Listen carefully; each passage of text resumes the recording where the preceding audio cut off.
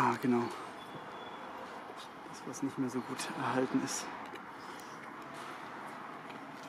Hier sehen Sie jetzt äh, den unteren Teil des Landgrafenschlosses, also die äh, Erdgeschossetage. Und hier sind noch die originalen Reste dieses Schlachthofes sichtbar. Das sind also sogenannte äh, Gestänge, wo die Schweine dann hin und her geschoben wurden.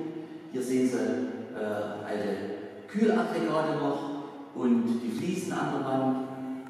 Und äh, das ist also ein ganz krasser Gegensatz, dass man also über diesen Gestänge noch die Stuckdecke sieht dieses Raumes.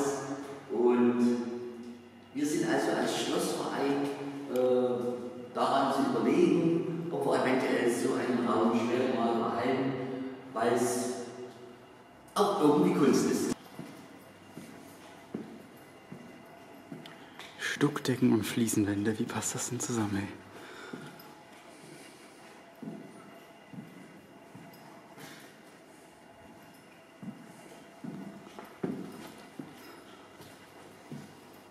Schlachterei im Schloss.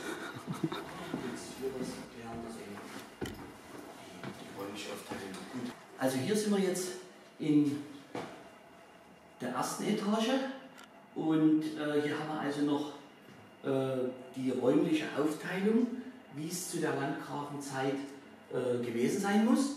Es ist also noch gut nachvollziehbar. Ja, hier wäre dann äh, der Bereich für die Dienerschaft. Also die Landgrafen haben sich nur im, im Inneren äh, bewegt, sind also dort von Flügeltür zu Flügeltür in den Saal gegangen und die Bediensteten haben von Hausen äh, die versorgt, die Landgrafen, haben dann hier äh, die Zimmer beheizt. Und wir wissen also noch aufgrund der letzten Führung 1933, dass das das Schlafzimmer war, das das Ankleidezimmer und weiter vorne das Musikzimmer und dann sehen wir auch weiter hinten noch den großen Festsaal. Ja? Und hier sehen Sie schon, äh, sind wir gerade drüber, das Parkett wieder freizulegen. Da war also Fußbodenbelag drauf.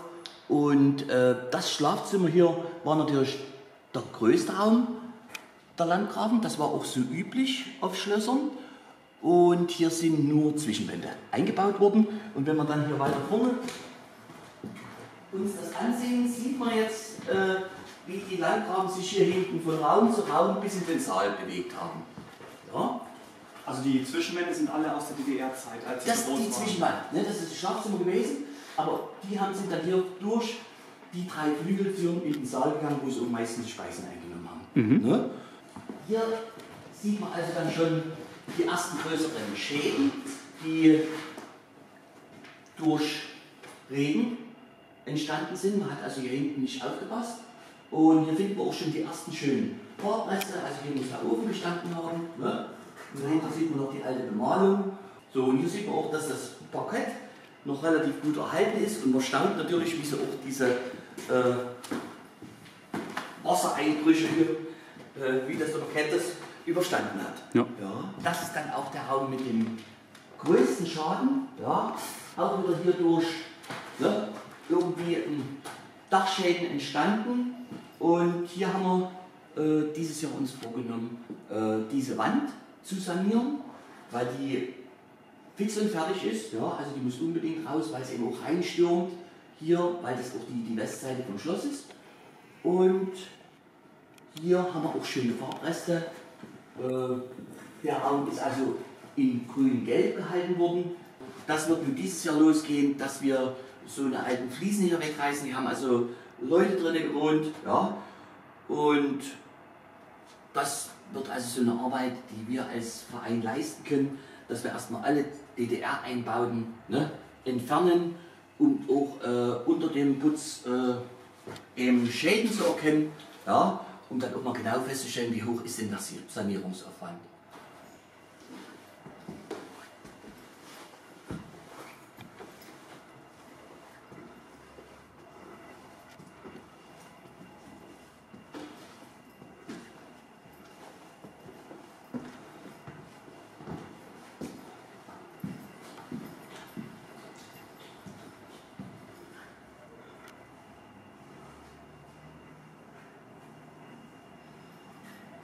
Hier war also der ehemalige Lustgarten der Landgrafen. Oh. Äh, muss eine sehr schöne Parkanlage gewesen sein. Und hier hat man dann äh, in der DDR-Zeit äh, so einen neuen Komplex der Wurstfabrik aufgebaut. Und äh, es sind noch ein paar Bäume vorhanden, aber das ist eben auch eine, eine ganz traurige Geschichte. Man äh, hat einfach mit dem Park nichts anzufangen gewusst. Mhm. Ja.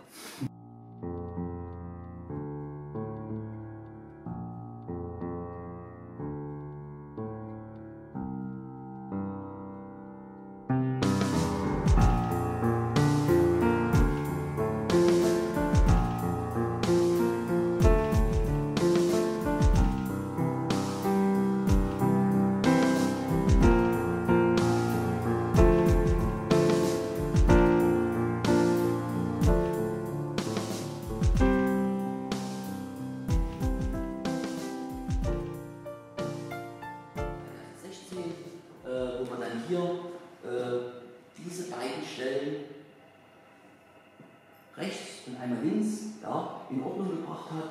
Und das ist ganz interessant, dass hier drei Balken ringsum laufen. Und das war natürlich ziemlich kompliziert, diese Maßnahme. Aber somit hat man erstmal äh, wieder Halt hereingebracht in diese Decke. Und äh, es ist so, dass diese Wand sich hier nach außen geneigt hat. Ja? Und deshalb sind auch noch diese Verstrebungen hier hinten da, äh, damit, man doch, genau. genau, damit man doch verhindert, dass die Wand weiter nach außen gedrückt wird. Und im nächsten Jahr äh, hat uns die Denkmalbehörde versprochen, nochmal hier 100.000 in dieses Dach zu investieren, um das Gebälk so zu sichern, äh, dass wir also dann diese Streben wegmachen können und dann wird das Dach auch oben drüber richtig eingedeckt.